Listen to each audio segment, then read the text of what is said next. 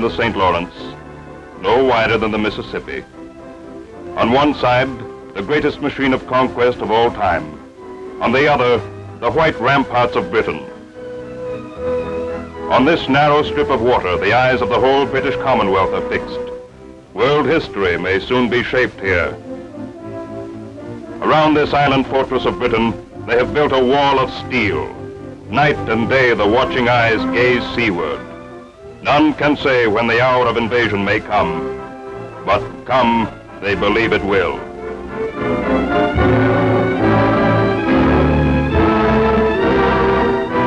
Behind the armored shorelines, 40 million people are at the battle stations.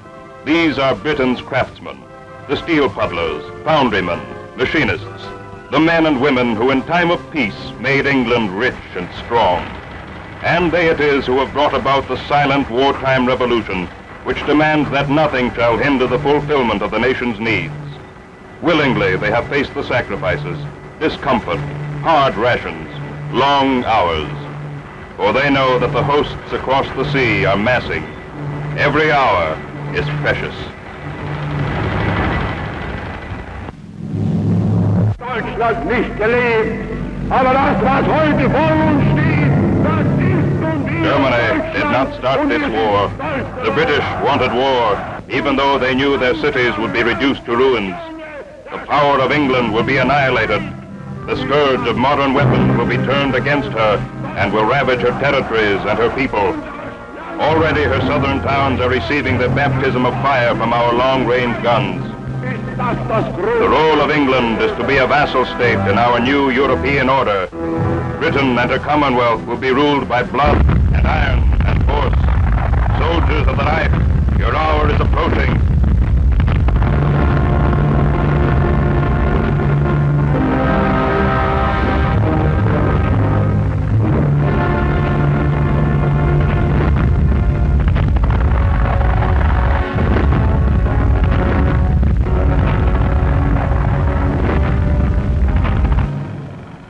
I can usually hear Jerry leaving the other side.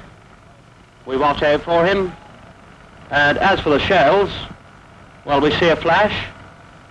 Count 60. There she is. It was just such people as these who bore the full brunt of the first German onslaught on England, the all-out air attack of September 1940. From airfields all along the conquered coasts of Europe, wave on wave of Goering's bombers launched their long-awaited assault on England.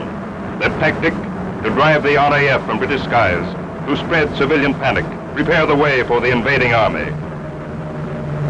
So across the fields of Kent and Sussex, across the rolling downs of Hampshire and the sprawling mass of London, the Battle of Britain began. The first great decisive battle in history in which the front line fighters were airmen and civilians.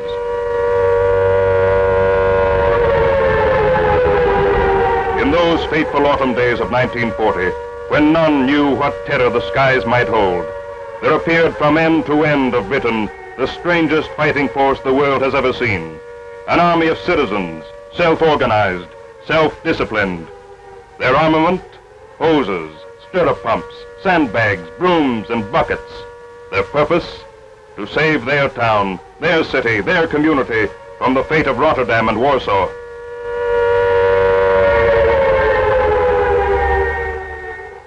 And even before the droning engines of the Luftwaffe heralded the first mass attacks, this People's Army of Britain stood ready.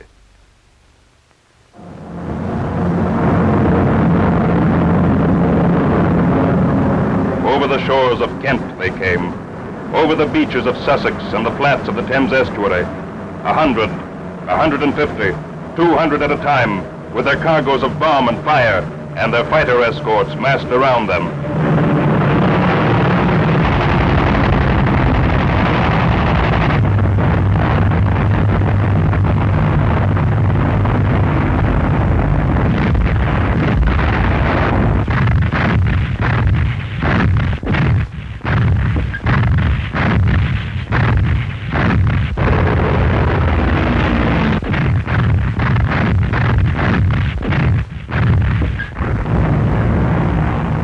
These raiders were the elite of the German Air Force, groomed for victory.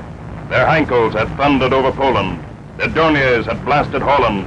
Their Stukas had shattered the army of France. Only Britain remained. Today, her seaports would lie in ruins. Tomorrow, Birmingham, Coventry, and the smoky towns of Lancashire. Within a week, London itself would be a heap of brick and rubble.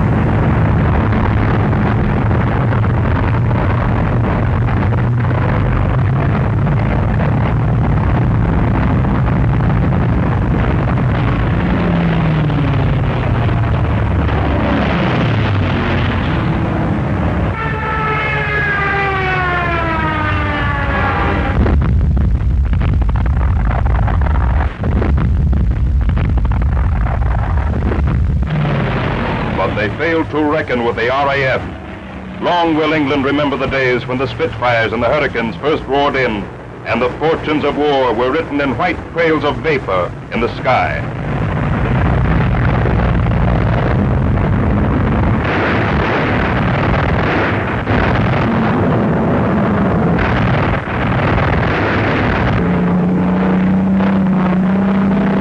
As the German formations scattered before the fighters' guns, the radio reports blotted out space and time, intercepting over Norwich, brought down at Calais, engaging at Portsmouth, destroyed at Ostend, and over the radio, too, the repeated warning cry of the Germans to their hard-pressed comrades, Achtung, Spitfeuer,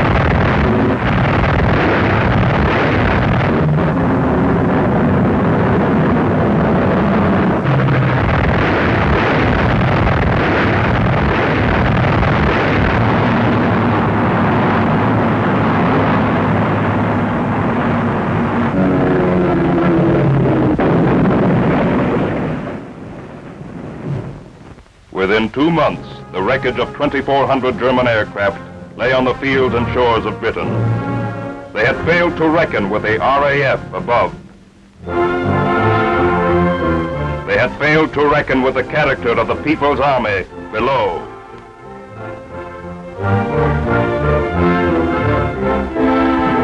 Well, we've pulled more Jerries out of drink than I ever existed. It's a fact. Fat ones, thin ones, small you'll be surprised. We're getting proper fed up with it.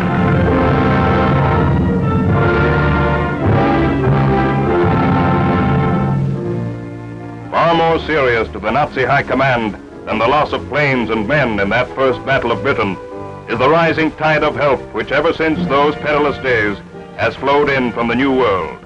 In these bomber-laden ships, eastward bound from Canada and the USA, lies a threat not only to Hitler's campaign against the British Isles, but to his grip on Europe itself.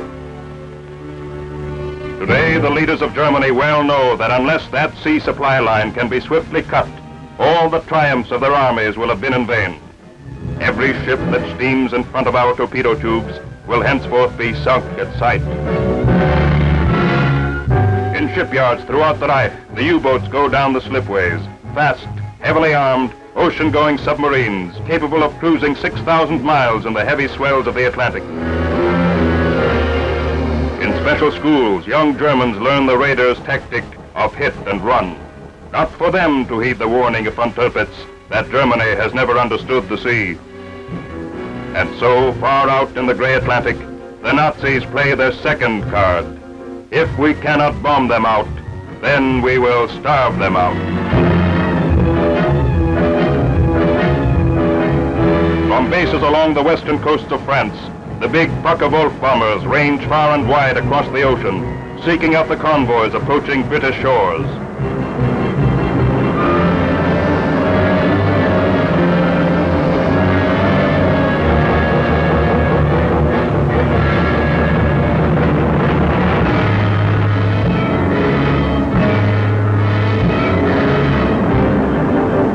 A rapid inspection from low altitude, and the radios begin to speak. Air reconnaissance calling U-55. Air reconnaissance calling U-55. Eastbound British convoy, located latitude 5330, longitude 1710. Attack with torpedoes.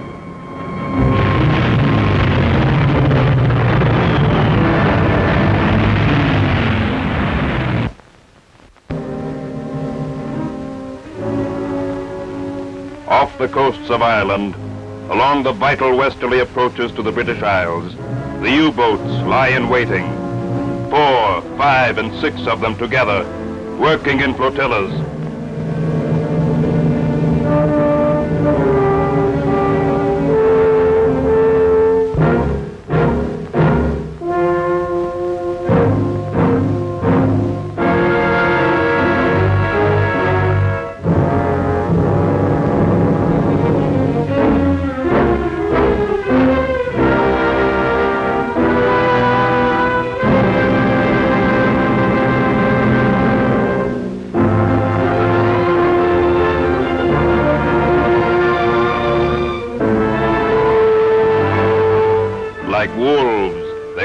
A convoy for days at a stretch, biding their time until the chance of wind and weather offers the fattest prize to their torpedoes.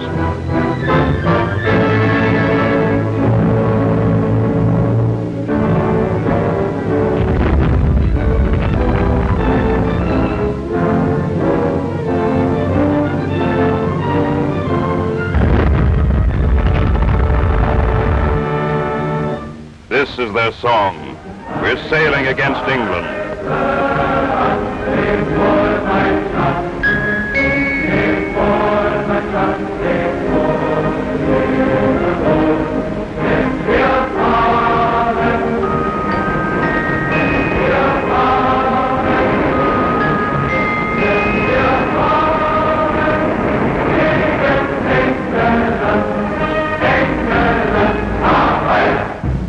And woe betide the ship attempting to run the gauntlet of the Atlantic alone.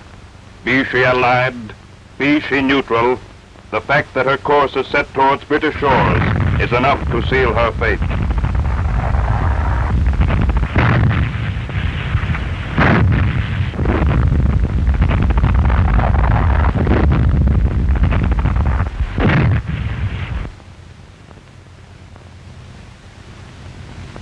All that is left is a group of half-frozen, oil-smeared men, and a lifeboat lurching in the green troughs of the sea.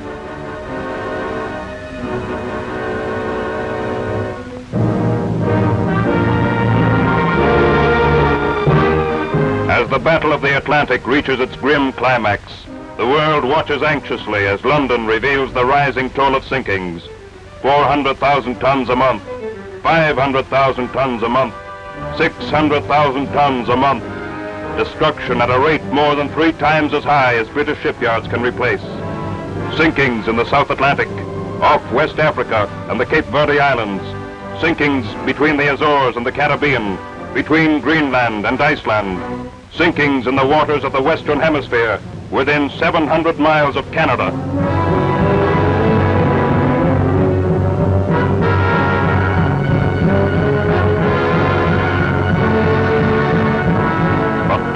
The shipyards of North America sound their answer in the clang of hammers. New ships to release British merchantmen for service in the Atlantic. And along Canada's coasts and rivers, the corvettes take the water to help Britain's hard-pressed destroyers keep that vital supply line open. Already the tide of battle may be turning. Already the wide Atlantic is becoming a graveyard for the raiders themselves.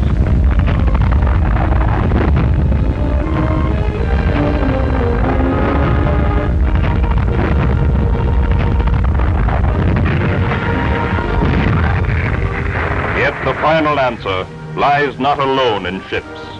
Hitler himself has said, it is not arms that decide, but the men behind them. And behind these men of Churchill's Island lies a thousand years of the sea in peace and war, in calm and storm. Because of them, the convoys plow on and Britain's lifeline holds.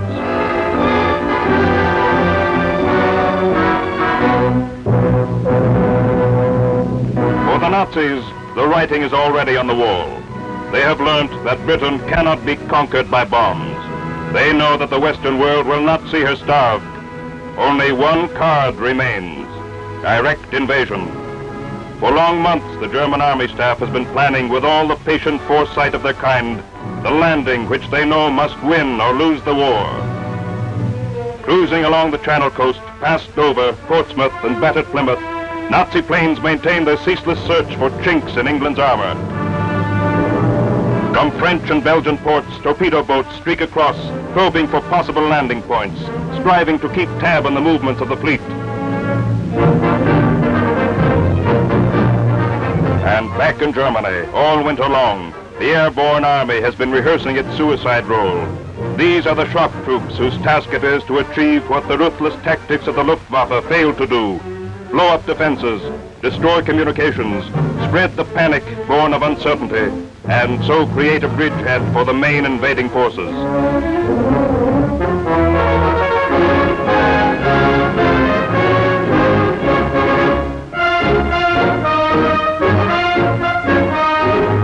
Against this strategy of terror stands the might of Britain, her ships and planes, machines and guns and men arrayed in the greatest system of defense in the history of warfare.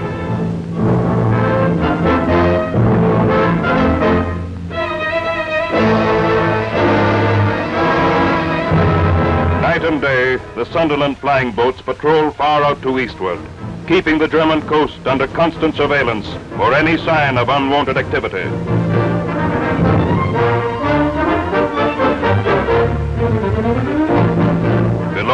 In the squalls of the North Sea, the Navy keeps its sleepless watch for whatever may appear on the eastern horizon, be it the foretops of battleships or the blunt bows of motor barges. Inshore again work the mine layers, forging their train of death up and down the coasts. Their task? To ensure that seaborne reinforcements with heavy artillery and tanks will never get through alive to seize the bridgeheads opened by the parachutists.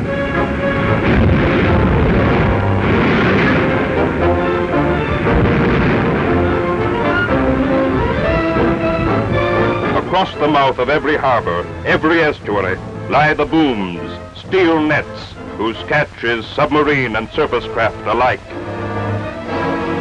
On the beaches of England, the children play no longer. For among the sand dunes move the troops, troops in steel helmets and battle dress, and armed with Tommy guns that will cut a man in half at 200 yards. And every day the shorelines echo to the warning thunder of the coastal guns at target practice.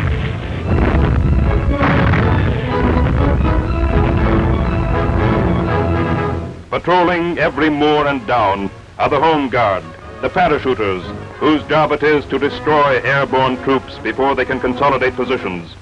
Across the countryside, the church bells are ready to sound the tocsin, and the fields have grown a new crop, tank traps.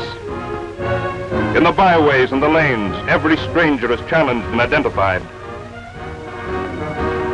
On the main roads, every civilian driver stopped for examination. At concentration points from Aberdeen to the Isle of Wight, mechanized forces stand ready to rush at the first alarm to any threatened area. Aloft, far out of sight above the clouds, fighter squadrons patrol the sky, waiting to pounce on transports and gliders before they can jettison their human loads.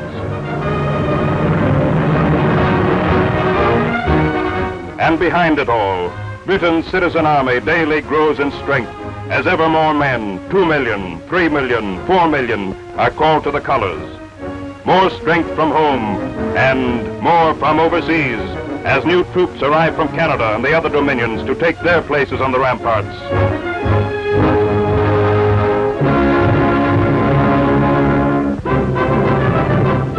All through the broad acres of Britain they are standing to, along the white walls of the Channel, on the red earth of Devon, in the marches of East Anglia.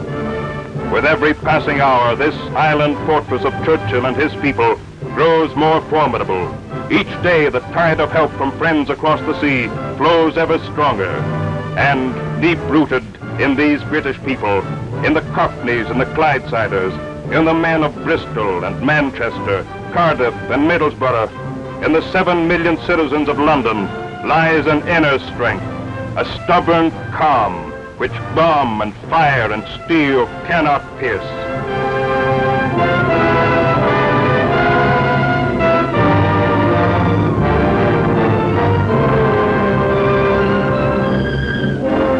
So as the ships steam on up channel, past the Lizard and the Needles and the towering cliffs of Beachy Head, they sight once more the watchtowers and the bastions of Churchill's Island.